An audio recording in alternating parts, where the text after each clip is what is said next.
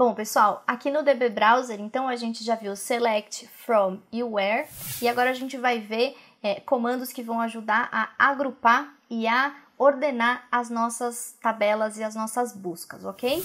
Eu vou mostrar para vocês duas palavrinhas que a gente usa dentro do, do, do SQL que também ajudam a gente a descobrir algumas informações a mais da, das tabelas, tá?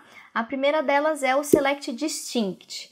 Então, ele é exatamente igual ao select, mas com essa palavra distinct, a gente busca só os valores únicos que existem naquela tabela. Então, se a gente for ver, a gente tem um milhão de linhas na nossa tabela, e aí a gente só tem 27 opções de UF. Então, só tem 27 estados no Brasil.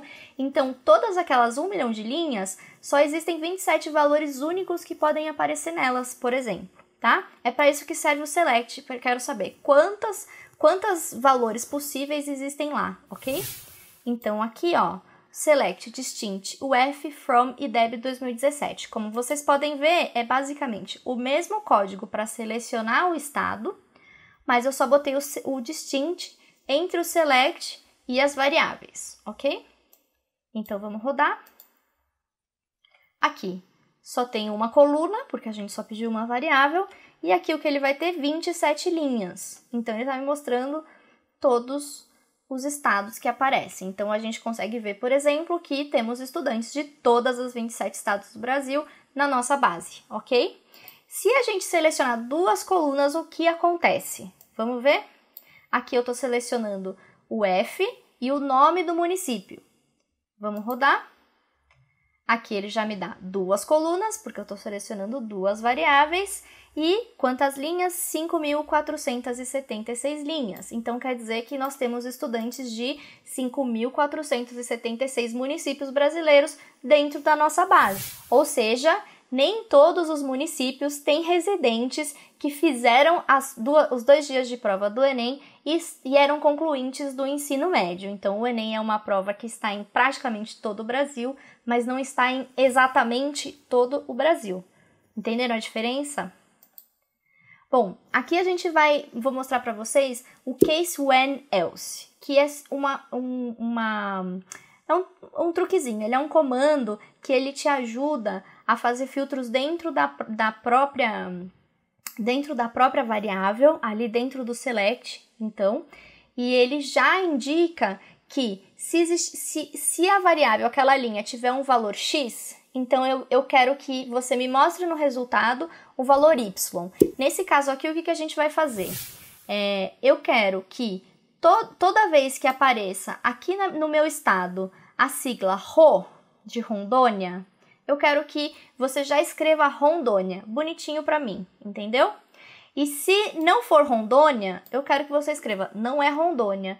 Então eu escrevo o case é caso o valor quando ele for Rondônia, então eu quero que você me escreva Rondônia tudo escrito, não só o RO da sigla, ok?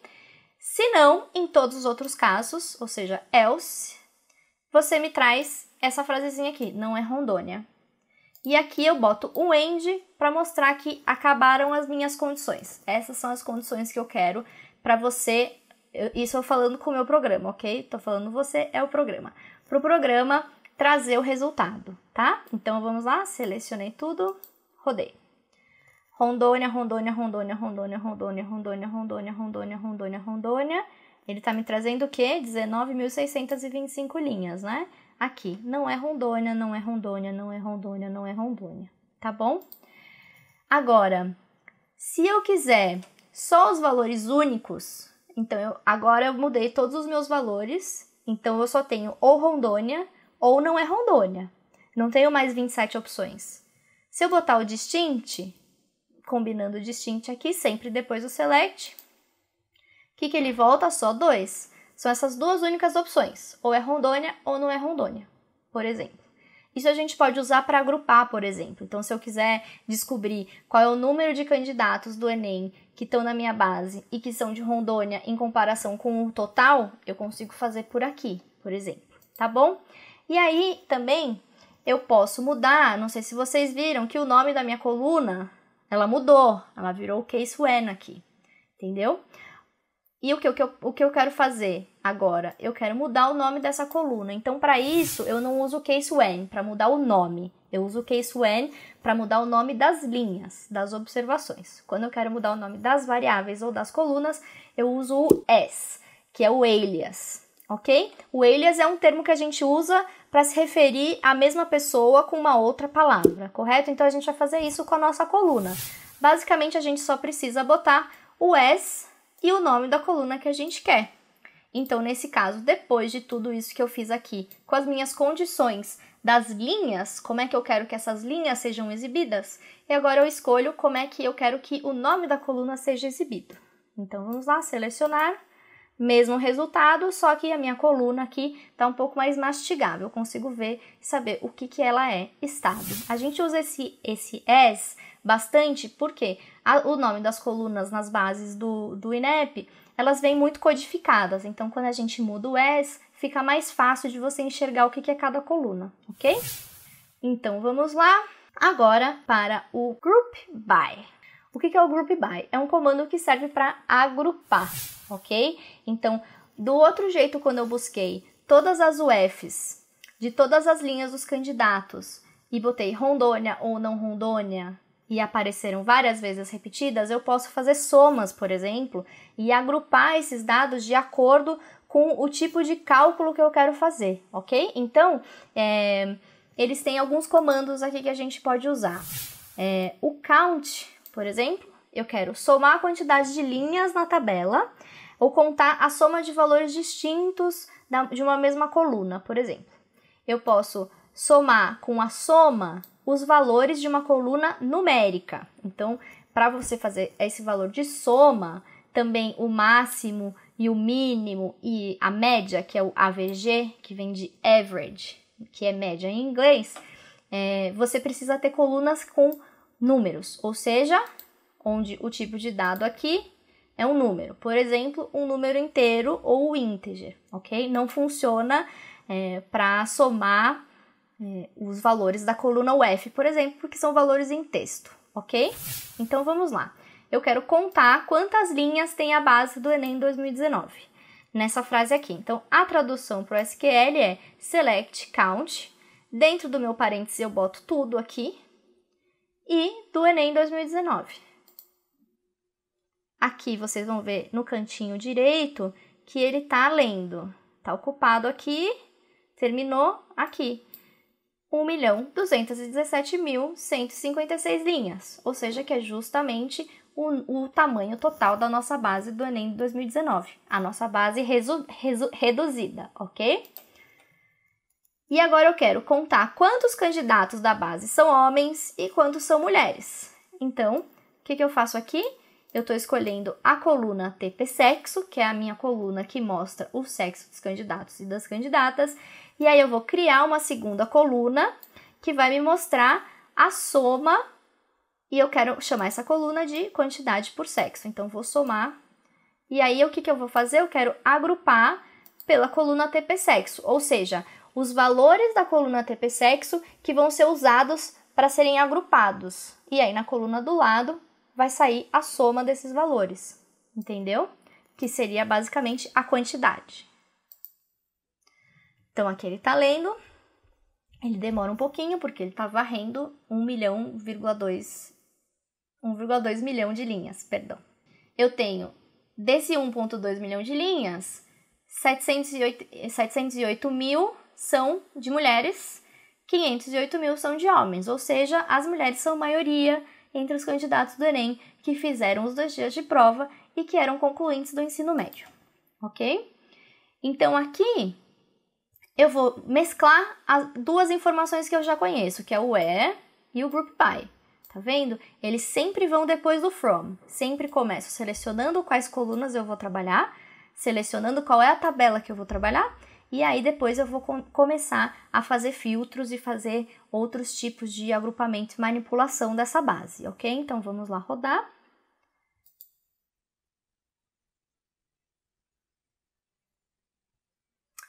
Esperar um pouquinho. Então vamos ver que resultado é esse.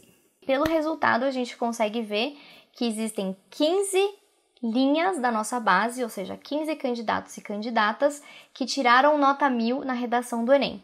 E desses, oito são mulheres e sete são homens, porque aqui na coluna TP Sexo a gente consegue deduzir que F é feminino e M é masculino. Então, para finalizar, a gente vai aprender o order by.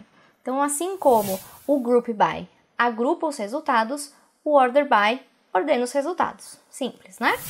A ordem padrão de, desse ordenamento né, é sempre ascendente, mas a gente consegue mudar e colocar a palavrinha desk para quando a gente quer indicar que a gente quer uma ordem decrescente, ok? Então, na minha frase 13 eu tenho selecionar quem fez o Enem no Acre, por idade e sexo e ordená-los da maior para a menor nota da redação.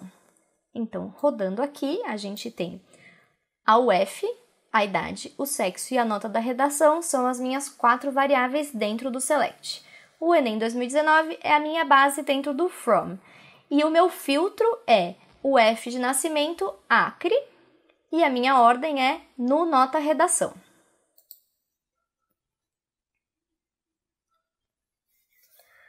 Vamos lá ver. Qual foi o resultado? Não foi o resultado que a gente esperava, porque ele está me mostrando primeiro quem tirou as menores notas, que é nota zero. Por quê? O que, que faltou aqui? Faltou a gente colocar o desk. E o desk ele vai depois de tudo, ok? Então, se a gente selecionar de novo, o que, que a gente vai ver?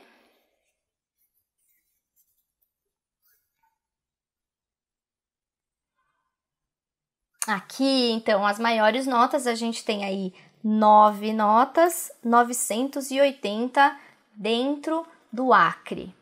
Uma das coisas que a gente consegue perceber aqui, o que, que é? Que no Acre não existem candidatos com nota 1000 na redação, ok? Então, eu vou é, selecionar aqui, por exemplo, isso dá, dá uma pista para gente do que a gente vai fazer agora, ok? Eu quero agora selecionar quem tirou nota 1000 na redação por estado e eu quero ordenar pela ordem alfabética do estado de trás para frente, ok? Então aqui já tem o desk, que a gente deixou de fora da outra, agora a gente não vai esquecer. Já deixamos aqui o desk. O que, que eu quero? Eu não quero mais o sexo, não quero mais a idade, eu só quero saber quais são os estados e eu quero saber quem tirou nota mil, ok? Então vamos lá. A sigla UF Nascimento, a no nota Redação, que são as nossas duas variáveis, e eu quero o meu filtro só as notas mil, quero jogar fora todas as outras, e eu quero ordenar por UF de trás para frente, pela ordem alfabética. Então vamos lá, rodando o código.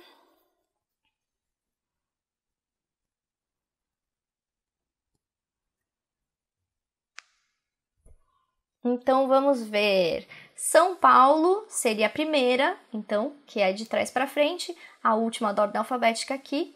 O que, que tem? São Paulo tem um candidato nota mil.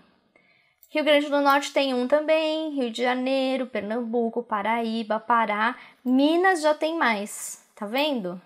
Só que aqui o que, que eu tô botando? Todas as 15 linhas, então cada linha é um aluno nota mil, ok?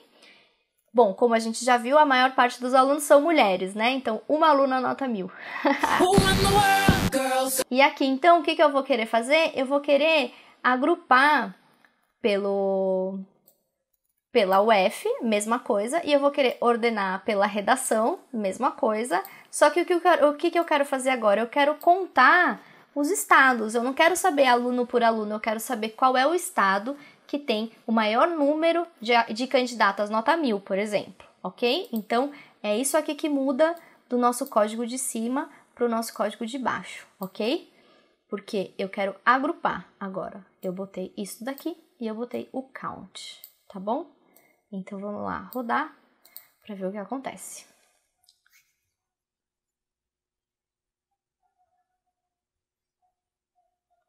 Ok, então esse é o nosso resultado. O que, que a gente consegue ver? Que a gente só tem nove linhas, ou seja, de 27 estados, só nove tem candidatos nota mil. E o Acre, como a gente tinha visto antes, não é um deles.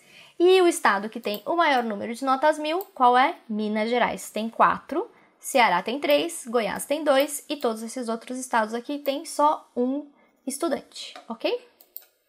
E aí, o que, que eu vou fazer? Por fim, eu vou facilitar aqui a minha, a minha visualização das colunas, porque SG underline UF underline nascimento, talvez as pessoas não entendam do que se trata. No nota redação, talvez as pessoas não entendam do que se trata. Então, o que, que eu vou usar? Aquele S que a gente viu mais cedo para mudar as, os nomes das minhas colunas.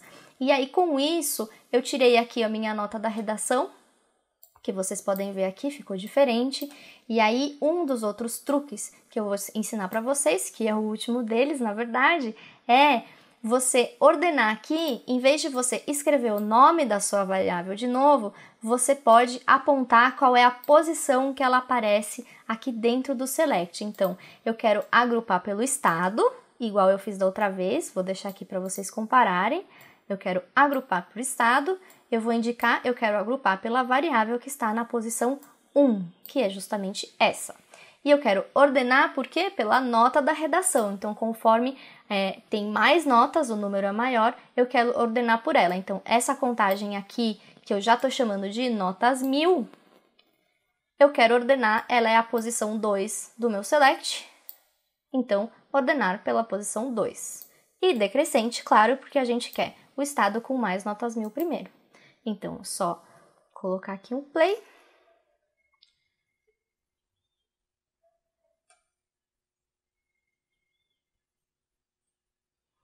E pronto, é a mesma coluna de antes, só que com, com nomes de coluna um pouco mais palatáveis para a gente, ok? E aí o que a gente pode fazer? Vamos salvar como vista, estados, nota 1000. Por exemplo, salvei aqui como vista e eu posso também exportar para um CSV, posso escolher meus separadores, quero deixar o nome da coluna na primeira linha, Quero indicar que as palavras estão dentro de aspas, pode ser também. Salvar, vou salvar aqui no meu código, estados, nota 1000.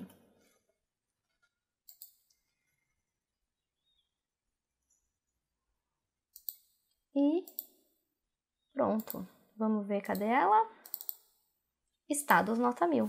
A gente viu o principal da cobertura de educação e por que, que as bases de dados de educação chamam tanto jornalistas para programação, e a gente viu também esses primeiros passos de SQL, os comandos mais básicos, mas eu acho que já deu para vocês verem que eles já são suficientes para a gente fazer bastante coisa é, nesse trabalho de abrir bases de dados que são muito grandes e trazer o que a gente precisa, os dados que a gente precisa para montar as nossas pautas na nossa cobertura diária, tá bom? Espero que tenha sido proveitoso para vocês. Se vocês tiverem qualquer dúvida, é só me procurar.